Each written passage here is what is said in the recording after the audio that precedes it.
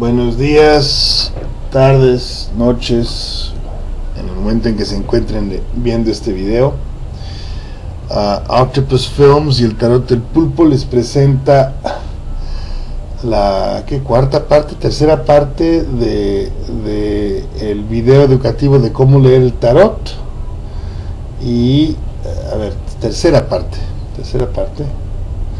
Y la carta que vamos a discutir hoy es la suma sacerdotisa, High Priestess en inglés. Yo soy Robin Kasmarchik. Uh, estamos aquí para echarle la mano a esto. Ok. La suma sacerdotisa. Hola, soy la suma sacerdotisa. Vamos a aprender muchas cosas sobre mí hoy. Cuando empecé este video, cuando empecé esta serie de videos, no sabía muy bien qué, qué, qué tan largos iban a ser. Pero hay ciertos temas, hay ciertas cartas que yo he estudiado más cuidadosamente por razones muy personales. Y que por consecuencia van a necesitar más tiempo para discutirse. Yo creo que esta carta es una de ellas. Primero vamos a analizar quién es. Tiene dos, dos pilares eh, um, a sus lados. Joaquín Boaz. Sus dos pilares son los dos pilares del templo de Solomón. Entonces ella está ahora sí que a la puerta, enfrente de la puerta del templo de Solomón, y es lo primero que verías después de cruzar las puertas del templo. Trae su coronita. La corona es la corona de Isis. Y si no conocen a Isis, pues vamos a discutirla aquí también. Trae la media luna bajo los pies. Uh, también tiene que ver con Diana y con ciertas diosas, um, ciertas diosas um, grecorromanas. En sus brazos, bueno, ahí se ve al revés, pero esto es el Torah, que también trans, trans si, lo, si cambias las letras un poco, dice Tarot. Torah, Tarot. Y claro, la cruz en su pecho. Ahora, la cruz no es la cruz de Jesús, es una cruz que da exactamente la misma tamaño. Los cuatro puntos de la cruz son del mismo tamaño. ¿Quién es la suma sacerdotisa? Bueno, vamos a analizar, como estamos en México, estamos hablando mexicano aquí, vamos a analizar el símbolo mexicano que mejor representa a nuestra amiguita.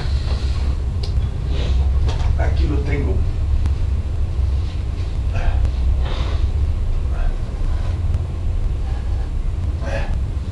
Lo cuelgo de mi tienda.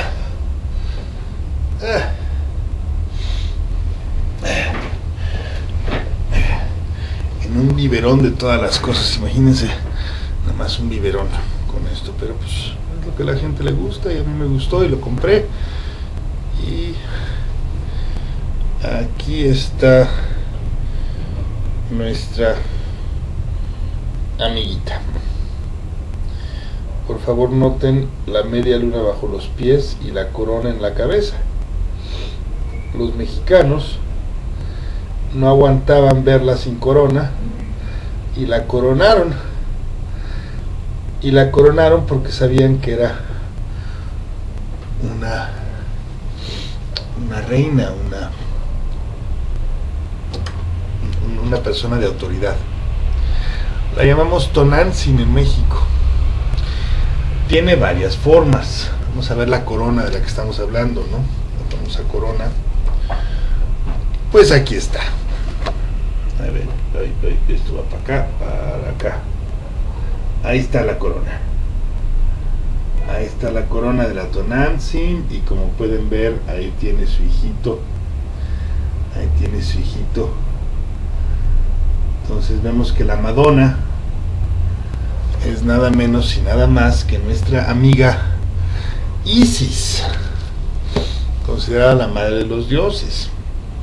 Entonces, no es una simple sacerdotisa, es la reina de las sacerdotisas, es la, más efectiva, la más bella, la más fuerte. Y si se acuerdan en el video anterior donde discutimos el mago, discutimos de que de descender, cuando desciende el alma como el loco, que no tiene ninguna conciencia entre el bien y el mal, empieza a encarnar en diferentes formas para tomar eh, los aprendizajes necesarios para trascender o tal vez para perderse, ¿verdad? Porque la trascendencia es muy compleja. Entonces el loco se convierte en el mago cuando se da cuenta que hay cosas que quiere hacer. Y el mago materializa manifiesta su fuerza para hacer las cosas que, que desea.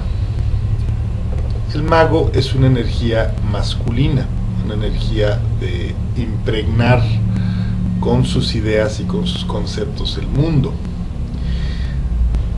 La suma sacerdotisa más bien es una energía femenina. El mago tiene que aprender su femenino divino.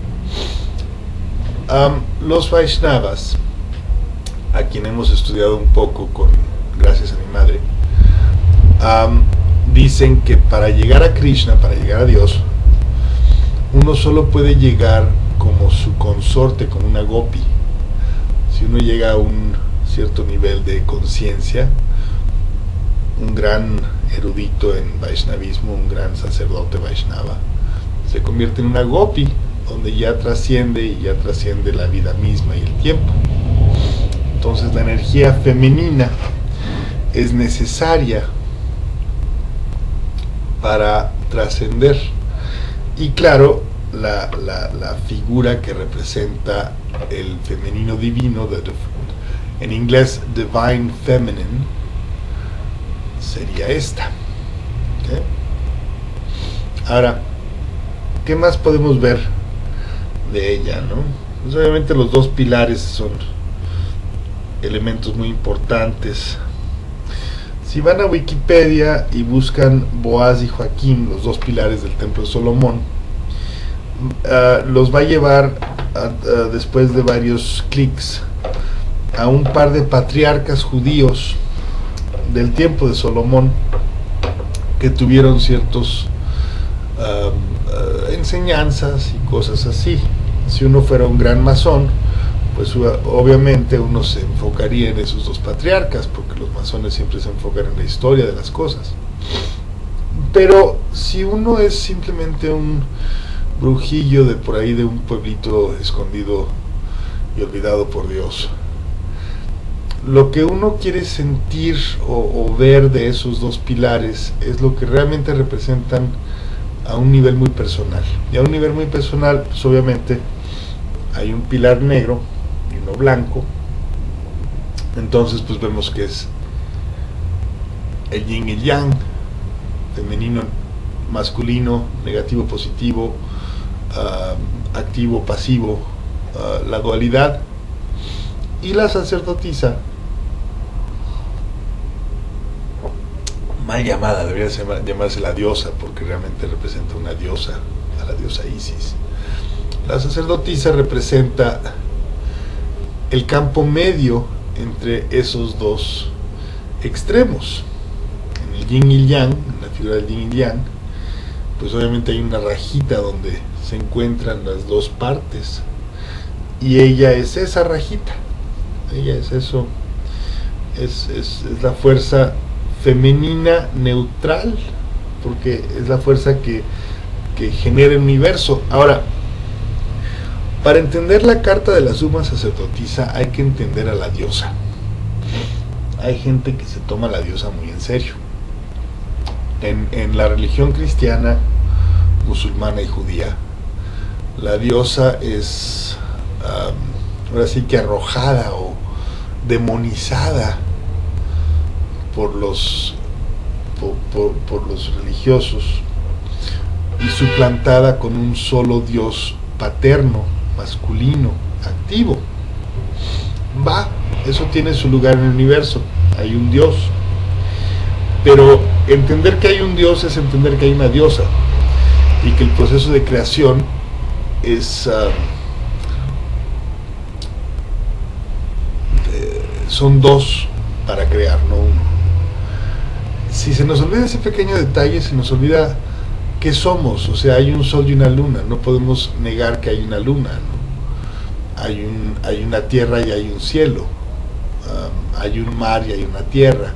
Entonces, eh, olvidar la, la parte receptiva de la creación es olvidar de que nos tratamos todos.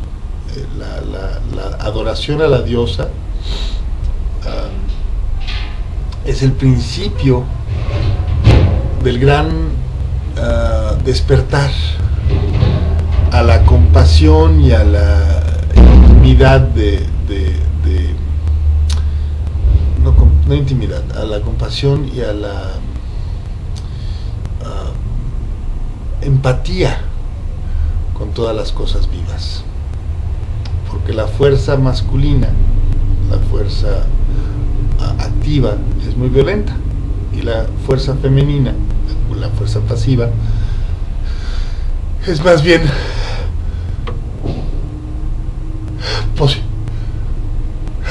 un buen estornudo se me va a ir. Se me fue. Bueno, la fuerza femenina a ver, voy a pausar para que esto Bueno, ya, ya se fue. Ah, no les choca cuando eso pasa, un estornudo se nos va y de repente ya, ya no podemos estornudar. Bueno, ¿en qué estábamos? Estábamos en la, la, fuerza masculina es una fuerza activa, es una fuerza que de alguna manera ah, impregna su alrededor con sus deseos. La fuerza femenina, en cambio, es una fuerza pasiva que más bien recibe y, le da mantenimiento, nurturing. En inglés, ¿cómo se dice nurturing en inglés? Le da crecimiento a, las cosas. Ah, entonces, pues olvidarnos de esa fuerza es olvidarnos de que nos tratamos nosotros también y es ah, querer impregnar todo con nuestras ideas y nuestros conceptos, sino recibirlos y no aceptarlos y no tener empatía. Ah, si algo nos va a rescatar del 2012 y del fin del mundo y de todas las desmadre que hemos armado, a la guerra en el Medio Oriente contra el Islam y bueno, no hay fin, ¿verdad? Es la empatía. ¿Y qué es la empatía?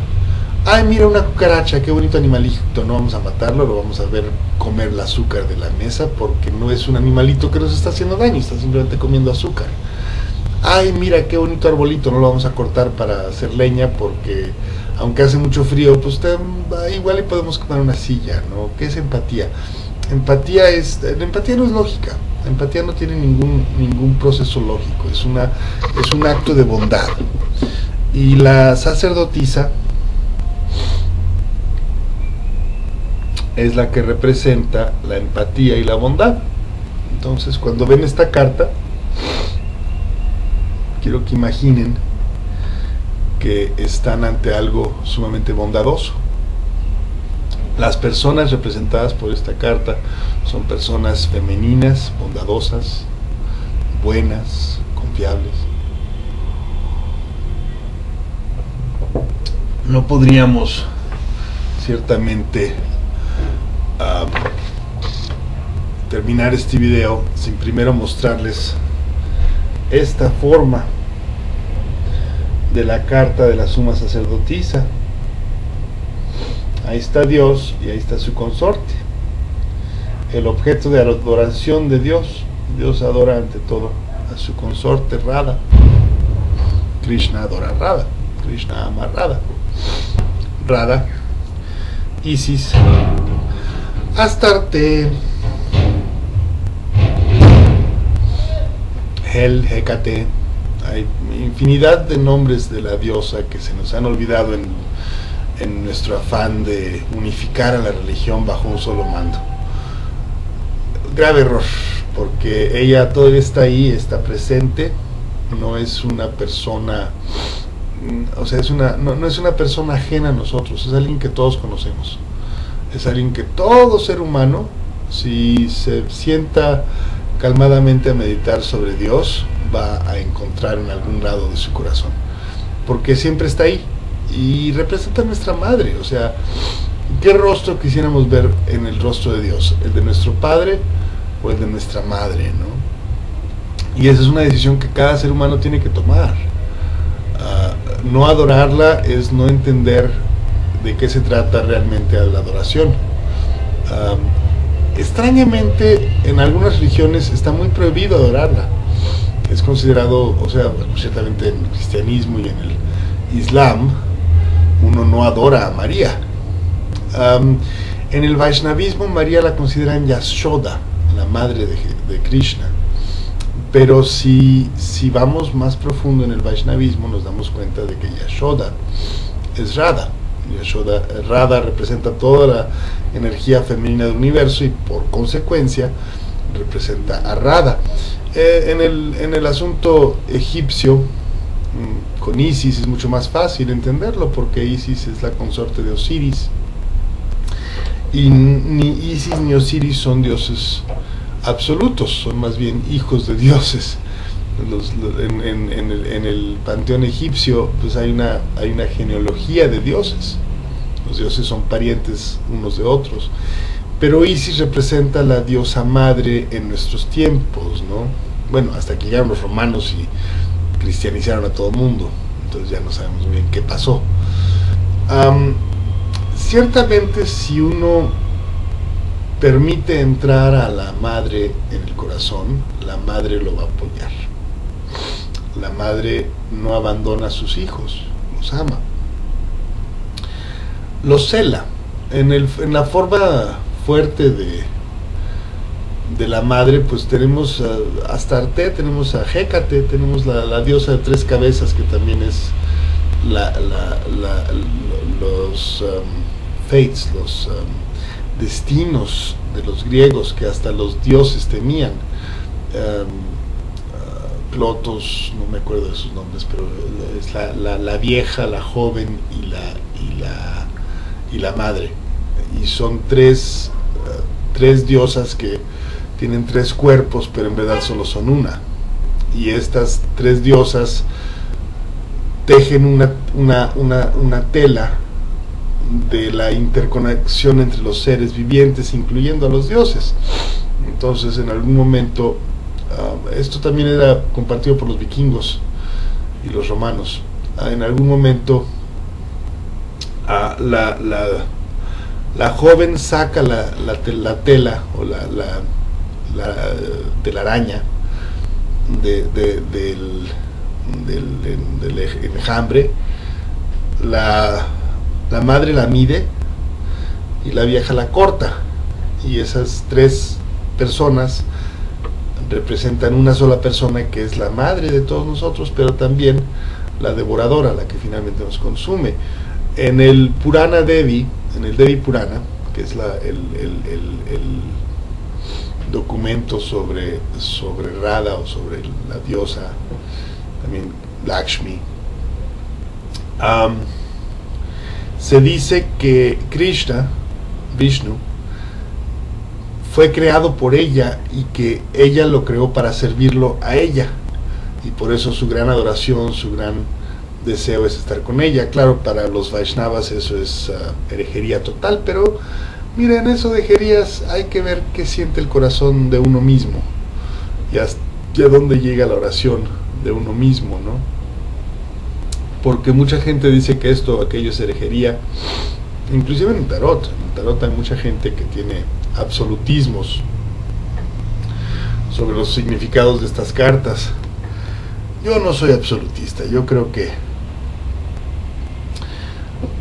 la realidad es, un, es una danza que todos estamos haciendo juntos y que de alguna manera la música de la realidad la escucha el corazón individualmente. O sea, el ritmo de la música de lo que es real y no es real le toca a cada persona y cada persona tiene que escucharlo hasta donde les llegue, ¿no? Ah, ya para terminar este, este, este capítulo, este, esta parte de, los, de las enseñanzas, yo les voy a decir que yo personalmente soy adorador de la diosa. ¿Por qué de la diosa? Bueno, porque durante dos mil años de cristianismo y de islam y de religiones adorando al, al Dios, al Padre, a la Madre fue olvidada por todos nosotros. El Padre, claro, representado por el Sol, es muy fácil de adorar como el, el, principal y más importante. Pero la madre es la tierra y todos los días la pisamos. Y muy pocos de nosotros nos acordamos en darle gracias. En tomar nuestras manos, llenarnos de tierra, adorarla. La madre tiene otro aspecto que es más interesante que la tierra, que es el océano en el vudú Metres Yemaya es la madre del mar.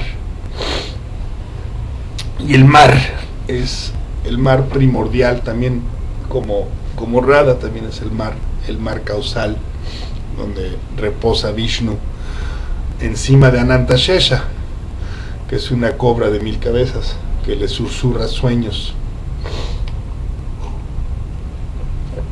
Entonces la madre como la tierra es muy válida, la madre como el mar es doblemente válida.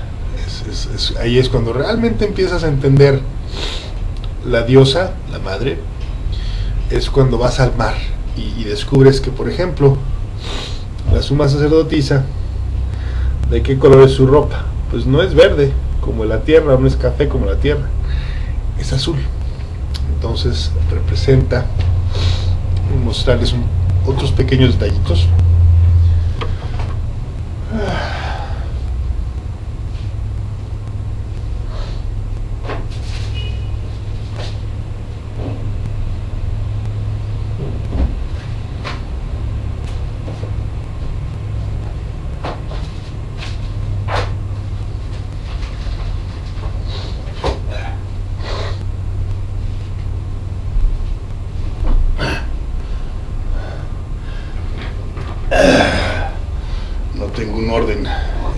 Extremadamente fuerte en mis um, en, mi oficina, en mis libros todos regados por todas partes. Pero este libro de los elfos, uh, elfos y leyendas, que um, ahí tengo mi, Merlín. Uh, bueno, pues quería nada más mostrarles que aquí hay una hay una diosa de Budún, que es Yemayá. Yemayá en su forma blanca y su forma negra, ¿eh? porque este es un catálogo de juguetes que uno puede comprar. Bueno, juguetes entrecomedidamente, ¿no? Son más bien murtis de diosas de vudú, entonces pues no, no son nada, simplemente juguetes. La madre, estamos regresando a esta figura, ¿no? esta figura tan impresionante, tan bonita. Bueno, hay algo más que les quería mostrar. Es posible que esta, esta particular carta tome dos capítulos para, porque ya, llevo aquí 25 minutos, ya hora de cerrarle al, al, diálogo, al discurso. Ah, pero solo una última que les voy a mostrar, que espero que la aprecien que yo sí me tomo en serio mi adoración de la madre. Ahí se ve, ahí se ve. A ver, no sé si se ve. Pero ahí está, la madre. Ah. Y, y nada, oh, y una última, claro.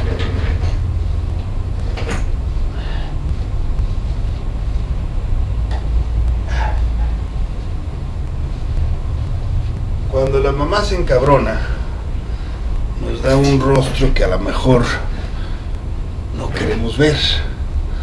En México conocemos a la mamá cuando se encabrona muy bien. Y aquí está ella.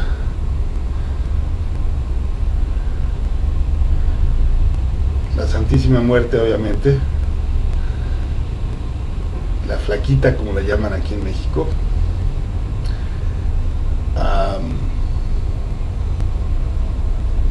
aquí está. Es ella. Pueden estar en controversia con lo que les acabo de decir, pero tengan muy seguro que lo que acabo de decir lo he buscado yo en mi propio corazón y ahí está, sin duda. Que tengan buen día. Robin Kasmarchik, Tarot el Pulpo, y este es cómo leer el tarot, parte 3, 4.